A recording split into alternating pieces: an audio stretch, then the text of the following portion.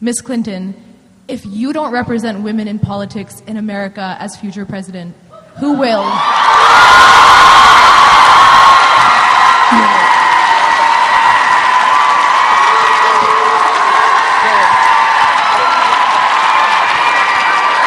Well, that's that's a good. It's a very good question.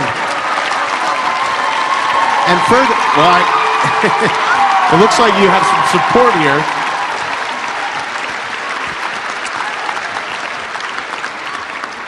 And also to add to that, uh, when you do run for president, will you reuse the old Clinton campaign lawn signs? Do you still have yours, Jimmy? Uh, probably do, yes.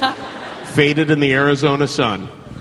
Well, uh, you know, I must say that uh, you have certainly done your education proud. That was very well asked and very well presented. and I, uh, I appreciate, uh, I appreciate the sentiment. Yeah, look, I, I am, um, I, I, am very much um, uh, concerned about the direction of our country, and it's not just who runs for office, but what they do when they get there and how we bring people together and particularly empower young people so that uh, we can tackle some of these hard decisions we've just been talking about. So she wants I, an answer. Well, I'm getting it to. I'm getting to it. I'm getting to it. So let me.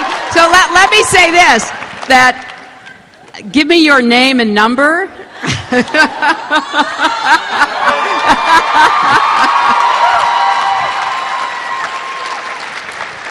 I will proudly run your campaign. I